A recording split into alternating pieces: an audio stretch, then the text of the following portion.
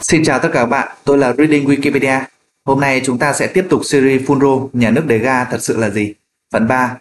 Vụ tấn công hai trụ sở Ủy ban Nhân dân xã tại Đắk Lắk năm 2023 Như hai phần trước chúng ta đã biết về nhà nước đề ga Funro. Liệu rằng vụ tấn công năm 2023 có liên quan gì đến tổ chức này không? Việt Nam đã làm được gì sau vụ tấn công? Lý do tại sao họ lại tấn công? Ai là người giật dây? Vào khoảng 1 giờ sáng ngày 11 tháng 6 năm 2023, một nhóm người không xác định danh tính mang theo vũ trang đã tấn công trụ sở ở Ủy ban Nhân dân hai xã là Ea Tiêu và Ea Cơ Tu thuộc huyện Cư Cu,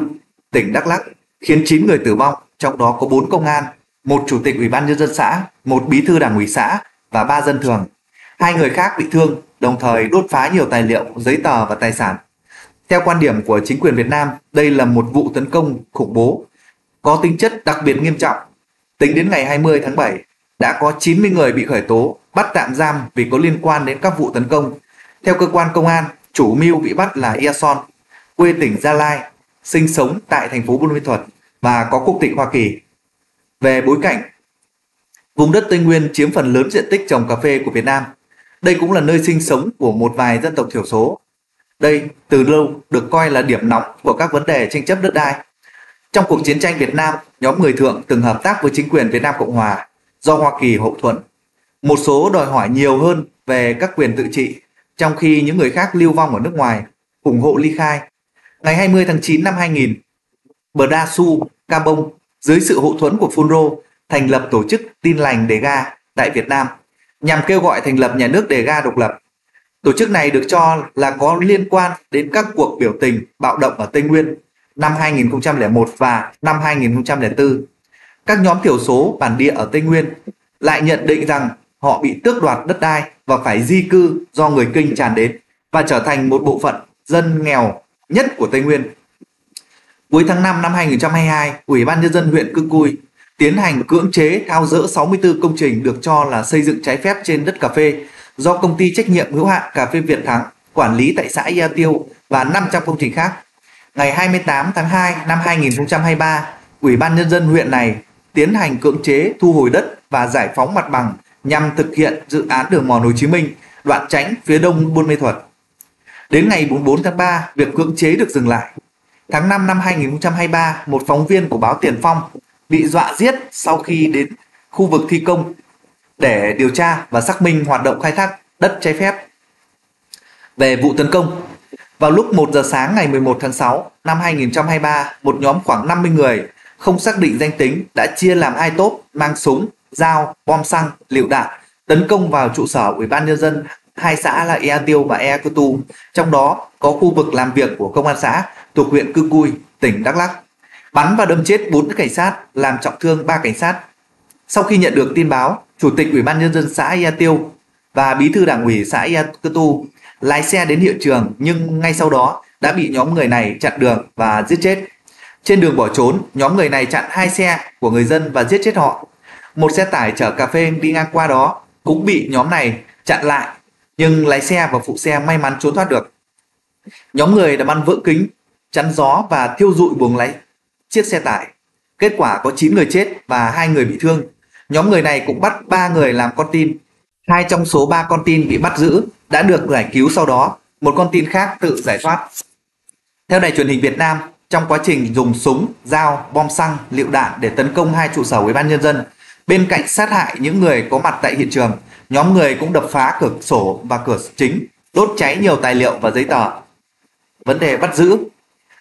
ngay khi xảy ra vụ nổ súng, người phát ngôn Bộ Công an, Trung tướng Tôn Sô cho biết đã chỉ đạo Công an tỉnh Đắk Lắk và các cơ quan liên quan tiến hành truy bắt nhóm người gây ra vụ nổ súng. Trưa ngày 11 tháng 6, Bộ Công an cho biết đã bắt giữ 6 nghi phạm Đến sáng ngày 12 tháng 6, số người bị bắt giữ là 22. Tính đến 10 giờ ngày 13 tháng 6, Bộ Công an cho biết đã bắt giữ 39 người, thu giữ nhiều vũ khí, bao gồm súng trường CKC. Đến tối cùng ngày, số người bị bắt giữ là 45. Trong đêm ngày 13 tháng 6, có thêm một người ra trình diện với cảnh sát, nâng tổ súng tổng số người bị bắt giữ là 46. Ngày 15 tháng 6 năm 2023, nghi phạm Ito Iaun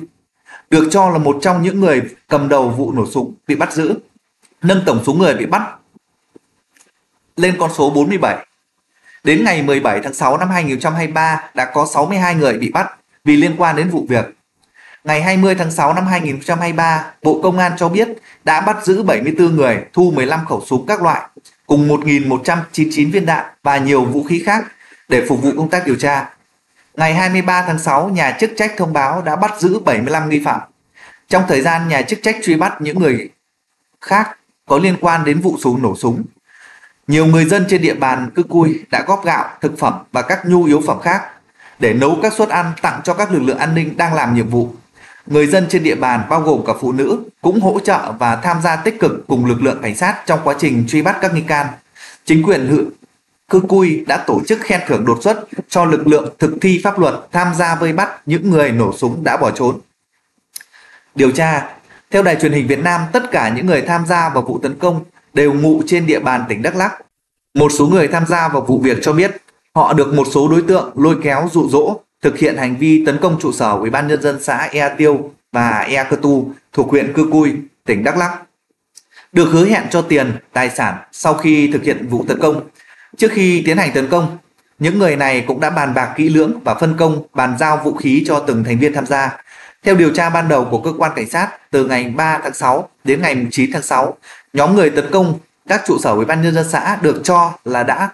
bị một người có tên là Isom yêu cầu tập trung ở khu vực huyện Cư Cui,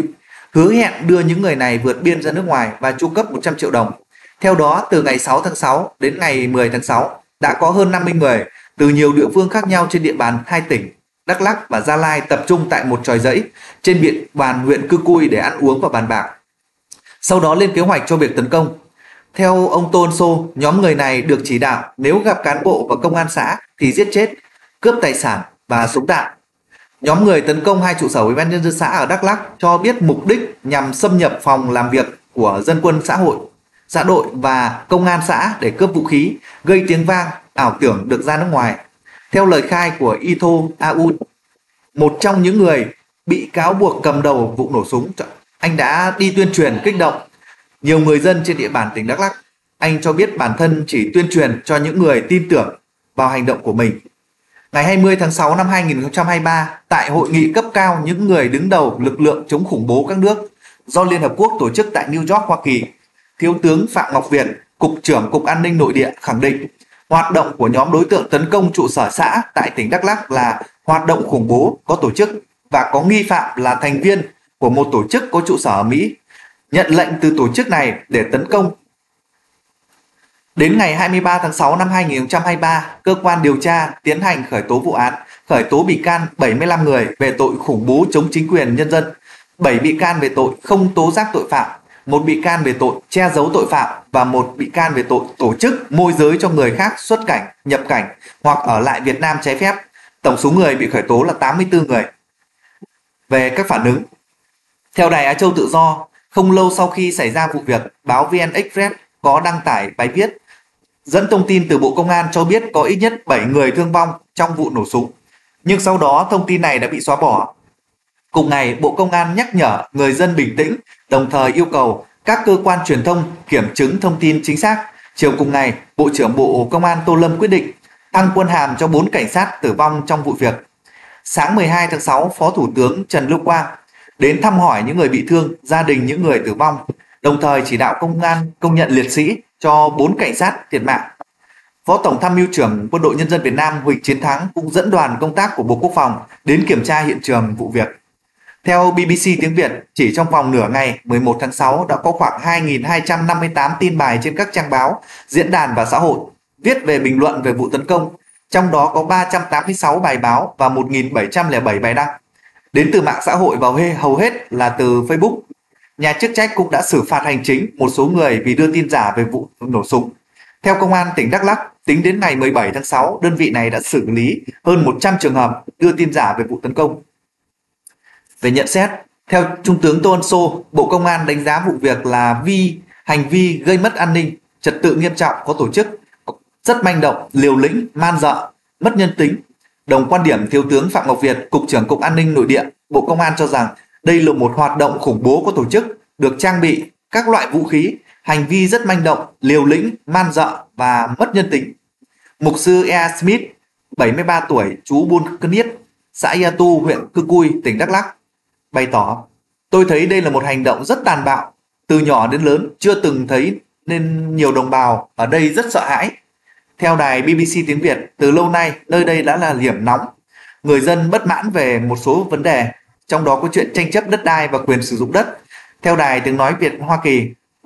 VOV phiên bản tiếng Việt, ông Nguyễn Trường Sơn, nghiên cứu sinh, thạc sĩ Đại học Chính trị Quốc gia Đài Loan, cho rằng công tác quản trị của Việt Nam ở Tây Nguyên khiến ông liên tưởng đến sự cai trị của Pháp ở chính Việt Nam trong quá khứ. Ông nói rằng mình đã từng gặp hàng trăm người dân tộc thiểu số tị nạn tại nước láng giềng và ông cho rằng họ đều bị chính quyền Việt Nam phân biệt đối xử vì niềm tin tôn giáo, bị gán ghép cho các âm mưu chính trị và bị mất đất. Ông Phil Robertson, Phó Giám đốc Tổ chức Theo dõi Nhân quyền khu vực châu Á ngày 12 tháng 6 cho là đằng sau tấm màn bí mật mà Việt Nam phủ lên vùng cao nguyên, chính phủ vi phạm một cách nghiêm trọng các quyền khước từ tự do tôn giáo và tín ngưỡng chiếm đoạt đất đai của các dân tộc bản địa và cố gắng cưỡng ép đồng hóa vào văn hóa, ngôn ngữ và xã hội dân tộc kinh vốn ở thế áp đảo. Giáo sư Oscar Salamim, khoa nhân chủng học Đại học Copenhagen, người có nhiều công trình nghiên cứu về Tây Nguyên và từng được cao ủy nhân quyền Liên Hợp Quốc mời viết báo cáo sau vụ bạo động năm 2001 cho biết các vấn đề ở Tây Nguyên của Việt Nam cũng tương tự như các khu vực khác, nơi các nhóm bản địa không có quyền cá nhân đối với đất đai và tài nguyên như khu vực Amazon ở Nam Mỹ. Ngày 6 tháng 9 năm 2023, tại phiên họp toàn thể của Ủy ban Tư pháp, Thượng tướng Trần Quốc Tỏ, Thứ trưởng Bộ Công an cho rằng vụ việc khủng bố xảy ra ở Đắk Lắk là một việc đáng tiếc. Nguyên nhân sâu xa cội nguồn của vụ việc xảy ra ở Đắk Lắk vẫn là những vấn đề kinh tế xã hội của đồng bào trong vùng, phân hóa giàu nghèo, quản lý đất đai, xây dựng hệ thống chính trị và cuối cùng là một số nội dung khác về quản lý an ninh trật tự ở cơ sở. Sau khi sự việc xảy ra, Bộ cũng đã tham mưu và có cuộc họp cấp ủy với 10 tỉnh khu vực Tây Nguyên và giáp danh, từ đây nhận rõ nguyên nhân và có kết luận cụ thể. Trong cổng thông tin điện tử Tuyên Quang có bài viết sau đây, tôi xin phép trích lược. Tây Nguyên không bao giờ bị cô lập mà ngày càng phát triển. Tây Nguyên gồm 5 tỉnh là Con Tum, Gia Lai, Đắk Lắk, Đắk Nông, Lâm Đồng, là một vùng lãnh thổ đặc thù của Tổ quốc. Nơi bên chân dãy Trường Sơn Đại Ngàn, đồng bào các dân tộc thiểu số anh em đã tạo dựng nên vùng đất Tây Nguyên kiêu hãnh, hào hùng. Trong hàng ngàn năm kiến tạo, người dân Tây Nguyên bao đời phải chống chọi với gian nan, thử thách khắc nghiệt của thiên nhiên và sự tàn bạo, coi thường của kẻ thù. Không cao chịu, đắm chìm trong đói nghèo lạc hậu. Trong cảnh bị đối xử kỳ thị, bất công của các chính sách ngu dân, chia để trị nhằm gây mâu thuẫn, chia rẽ tình đoàn kết giữa các dân tộc anh em. Đồng bào Tây Nguyên nghe theo tiếng gọi của Đảng và Chủ tịch Hồ Chí Minh đã cùng đất nước đứng lên kề vai sát cánh chiến đấu chống lại thực dân Pháp, đế quốc Mỹ xâm lược để thống nhất đất nước.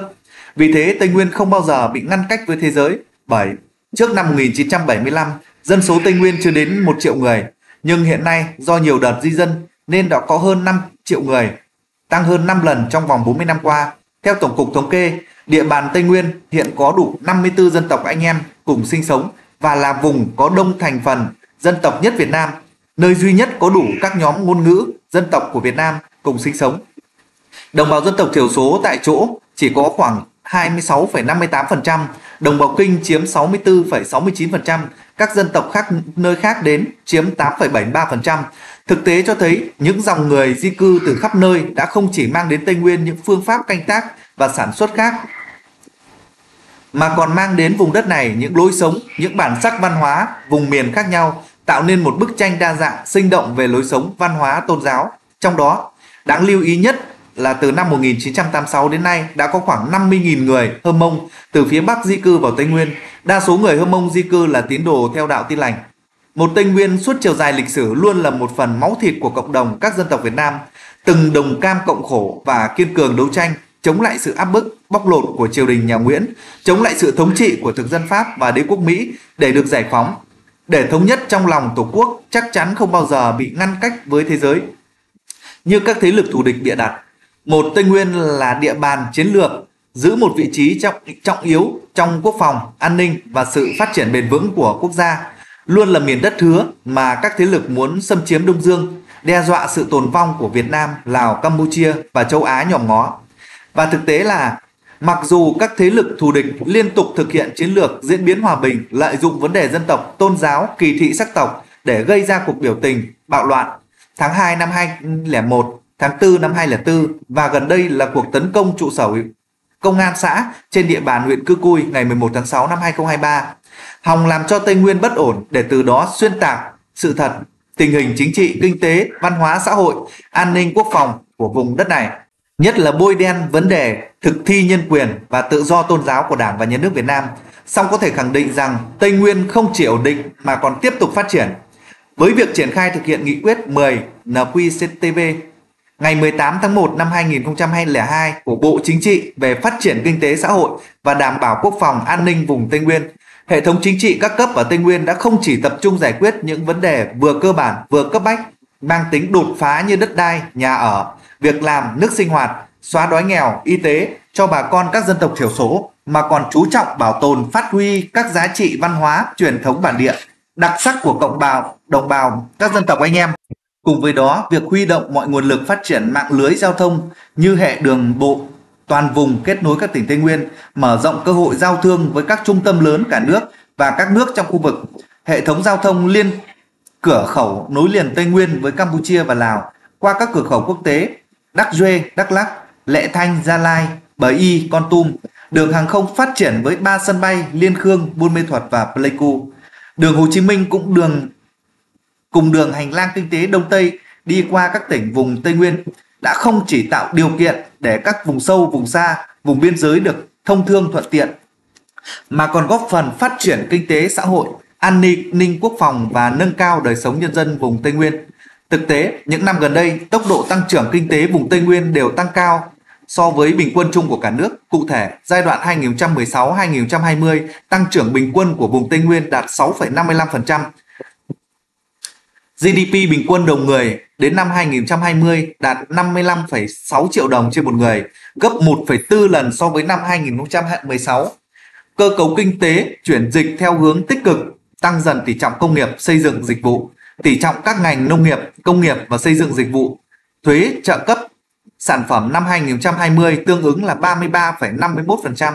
21%, 40,83% và 14,66%. Vì thế mà đời sống vật chất và tinh thần của đồng bào các dân tộc Tây Nguyên đã ngày càng chuyển biến tích cực, khởi sắc, cuộc sống du canh, du cư, ốm đau bệnh tật được khắc phục dần, đời sống văn hóa tinh thần ngày càng phong phú đa dạng. Cũng vì thế Tây Nguyên không phải là vùng đất gần như đóng cửa với thế giới mà là kết nối để phát triển bền vững bởi đánh giá đúng vị trí chiến lược và vai trò đặc biệt quan trọng về chính trị, kinh tế, xã hội, môi trường, quốc phòng an ninh, đối ngoại của Tây Nguyên. Đảng và Nhà nước Việt Nam không chỉ quan tâm lãnh đạo chăm lo đầu tư xây dựng phát triển kinh tế, xã hội, đảm bảo an ninh, quốc phòng vùng Tây Nguyên sau hai cuộc kháng chiến kéo dài 30 năm từ năm 1945 đến năm 1975 đã để lại hậu quả nặng nề mà còn đặc biệt quan tâm phát triển vùng đất này trên tinh thần làm tốt kinh tế, xã hội sẽ góp phần quan trọng vào ổn định chính trị, trật tự xã hội. Và ngược lại, tình hình ổn định tốt thì mới yên tâm phát triển kinh tế xã hội như nghị quyết số 23 NQTV ngày 6 tháng 10 năm 2022 của Bộ Chính trị về phương hướng phát triển kinh tế xã hội và đảm bảo quốc phòng an ninh vùng Tây Nguyên đến năm 2030, tầm nhìn đến năm 2045. Nghị quyết 23 Quan điểm phát triển Tây Nguyên nhanh, bền vững là chủ trương lớn của Đảng, Nhà nước và là nhiệm vụ xuyên suốt, trọng tâm, có ý nghĩa quan trọng đối với phát triển của các địa phương trong vùng và cả nước. Và xây dựng và phát triển Tây Nguyên kết hợp hài hòa giữa phát triển kinh tế, văn hóa, xã hội, bảo vệ tài nguyên, môi trường gắn chặt với quốc phòng, an ninh và đối ngoại đã đang được triển khai. Đó chính là phát triển hạ tầng chiến lược, nhất là hạ tầng giao thông, góp phần phát triển hành lang kinh tế Đông Tây, hành lang kinh tế Bắc Nam để kết nối vùng, tạo không gian phát triển mới. Phát triển hạ tầng y tế, giáo dục và nâng cao chất lượng nguồn lực. Đó là thực hiện các chính sách để nâng cao trình độ dân trí, đời sống vật chất và tinh thần của người dân. Hình thành nếp sống văn minh, gia đình văn hóa trong đồng bào các dân tộc, đồng thời bảo tồn và phát huy các giá trị văn hóa, tín ngưỡng, tôn giáo, truyền thống tốt đẹp, các di tích lịch sử, văn hóa tiêu biểu các dân tộc Tây Nguyên gắn liền với việc duy trì, bảo tồn và phát huy các di sản văn hóa tiêu biểu, đặc trưng của vùng và di sản văn hóa đồng bào dân tộc thiểu số. với dự kiến tăng trưởng GDP bình quân giai đoạn năm 2021 đến 2025 là khoảng 7 đến 8%. Các con số cơ cấu kinh tế năm 2025 như nông nghiệp là 29,6%, công nghiệp xây dựng là 25,4%, dịch vụ là 40,4%, thuế sản phẩm là 4,6%, GDP đầu người đến năm 2025 khoảng 85 triệu đồng, tập trung huy động mọi nguồn lực để đẩy mạnh phát triển kết cấu hạ tầng, hạ tầng đô thị, công nghệ thông tin, chú ý phát triển giao thông kết nối các cảng biển miền Trung và vùng kinh tế trọng điểm Đông Nam Á, tập trung đầu tư phát triển các công trình thủy lợi lớn, kênh dẫn kết nối các hồ chứa nhằm đảm bảo nước tưới cho sản xuất, tăng cường phối hợp và liên kết vùng, xây dựng cơ chế phối hợp có hiệu quả nhằm khai thác được các tiềm năng, lợi thế của từng địa phương của vùng. Đã cho thấy mọi quyết sách liên quan đến Tây Nguyên là nhằm để chuyển khu vực Tây Nguyên từ trạng thái ổn định để phát triển sang phát triển để ổn định như Thủ tướng phủ Chính phủ Phạm Minh Chính đã khẳng định tại hội nghị triển khai nghị quyết 23 ngày 20 tháng 11 năm 2022. Vì thế, luận điệu Tây Nguyên bị cô lập, bị đóng cửa, bị ngăn cách đều là không khách quan, là xuyên tạc sự thật. Người thượng và đồng bào các dân tộc đều cùng chung sức xây dựng bảo vệ Tổ quốc. Người thượng là danh từ gọi chung những nhóm sắc tộc bản địa sinh sống tại vùng Tây Nguyên, dãy Trường Sơn, vùng Đông Nam Bộ và một phần lãnh thổ của Campuchia và Lào. Người thượng cũng là con dân của dân tộc Việt Nam, từng chung sức xây dựng và bảo vệ Tổ quốc Việt Nam cũng như bảo vệ vùng đất mà họ cư trú.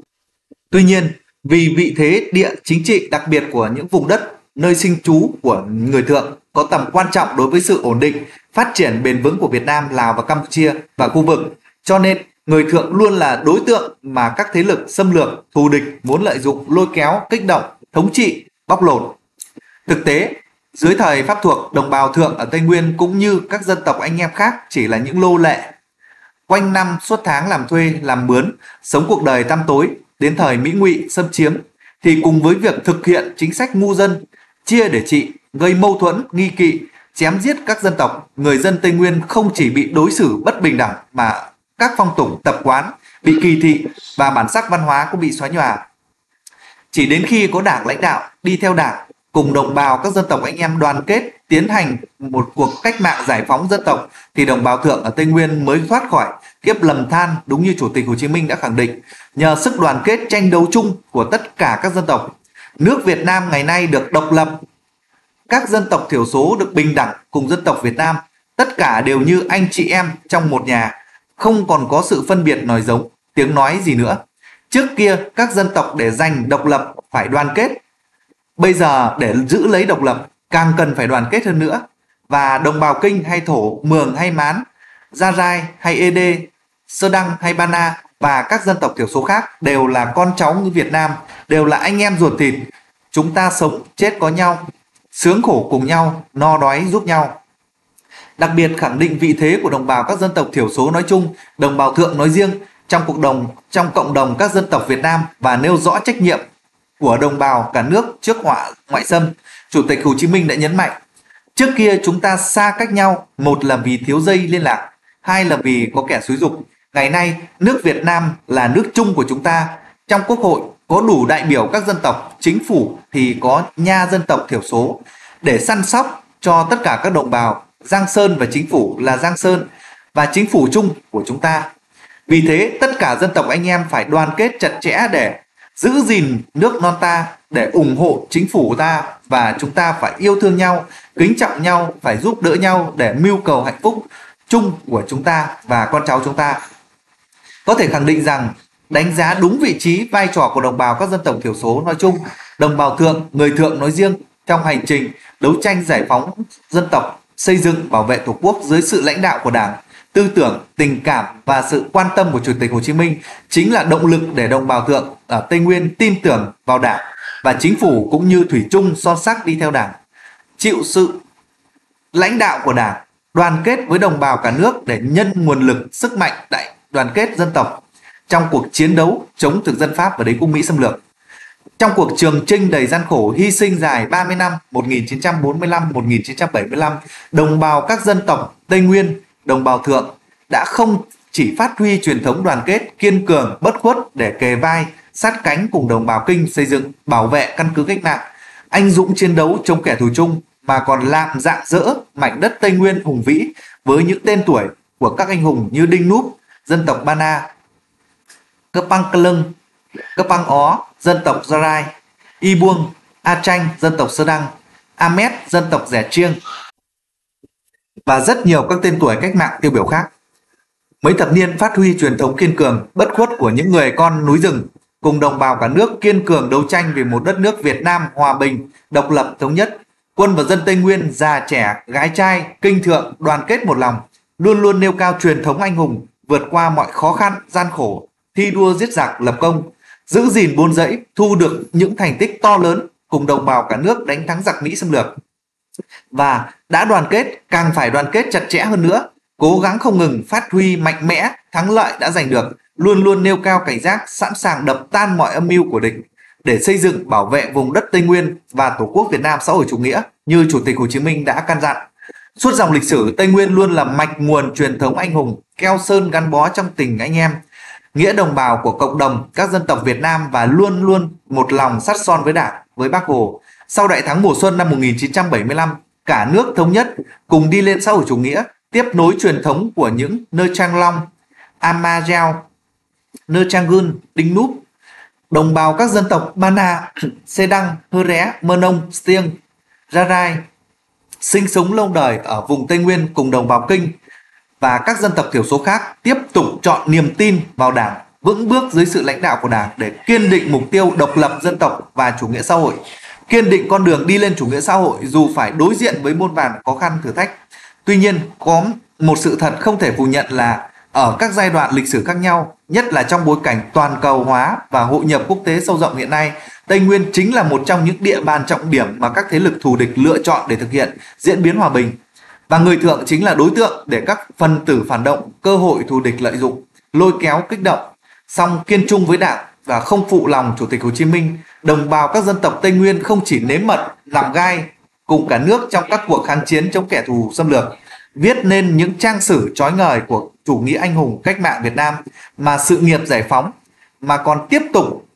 chung sức đồng lòng xây dựng bảo vệ và phát triển Tây Nguyên bền vững trên con đường đổi mới, hội nhập quốc tế sâu rộng, đồng thời tận dụng tối đa mọi nguồn lực, phát huy lợi thế và tiềm năng sẵn có của mình để cùng đồng bào cả nước xây dựng bảo vệ Tổ quốc Việt Nam xã hội chủ nghĩa. Vì thế, mọi luận điệu cho rằng người thượng bị tước đoạt đất đai, bị ép bỏ từ bỏ đạo tin lành, bị người kinh thượng đặt o ép, bị ngăn cản khi muốn sang định cư ở nước ngoài, chính quyền bắt đầu truy quét các nhà thờ tin lành ở Tây Nguyên và các cuộc biểu tình rầm rộ của người thượng. Chính là nhằm để đòi tự do tôn giáo và được trả lại đất đai, đất đai. Hay Đảng Cộng sản Việt Nam luôn đi ngược lại chính sách đại đoàn kết dân tộc và giờ đây lại còn đổ vấy trách nhiệm về biến cố xả súng ở huyện Cư Cui là do các thế lực thù địch đều không phải là sự thật, đều là phản động. Đồng thời những chiêu trò thủ đoạn lợi dụng núp bóng nhân quyền, tôn giáo lợi dụng những vấn đề lịch sử để kích động tư tưởng dân tộc hẹp hòi, ly khai, tự trị trong một độ phận đồng bào dân tộc thiểu số và đòi thành lập nhà nước đề ga độc lập ở Tây Nguyên của các thế lực thù địch đều là nhằm mục đích chia rẽ người dân tộc thiểu số với người Kinh, chia rẽ khối đại đoàn kết toàn dân tộc và chống phá đảng, nhà nước, chế độ. Ở Việt Nam không có chuyện Tây Nguyên và người thượng bị đóng cửa với thế giới, bị đàn áp mà chỉ có một sự thật là nếu nhân danh tôn giáo, nhân quyền để hoạt động gây rối, vi phạm pháp luật thì tất yếu sẽ bị xử lý nghiêm minh. Vâng, với video này và các video trước đã phân tích sự thật các thế lực bên ngoài luôn luôn muốn chia rẽ và mưu cầu phản động. Họ luôn tìm cách để xúi dục nhân dân bạo động. Và khu vực đồng bào Tây Nguyên hoặc Tây Bắc là một khu vực phức tạp, sự chênh lệch giàu nghèo do kinh tế thị trường, do tính chất đặc thù, giáp với vùng biên, lại quen với tập quán du canh du cư tự do. Quan trọng nhất là dân trí thấp nên dễ bị dụ dỗ lôi kéo. Các thế lực bên ngoài thường là sẽ cho tiền, hứa hẹn và xúi dục bạo động. Qua video, tôi cũng muốn gắm gửi tới đồng bào rằng cái tự do, cái độc lập và cái an toàn nó đáng quý lắm. Hãy giữ vững nó cho mình, cho con cháu, đừng vì một phút lơ là cảnh giác mà bị xúi dục lôi kéo vào những cuộc bạo động gây ảnh hưởng tới mình, gia đình, bản làng, thôn xóm và người thân. Video đến đây là hết. Xin cảm ơn tất cả các bạn đã theo dõi. Xin hãy like, chia sẻ và đăng ký để có các thông tin tiếp theo.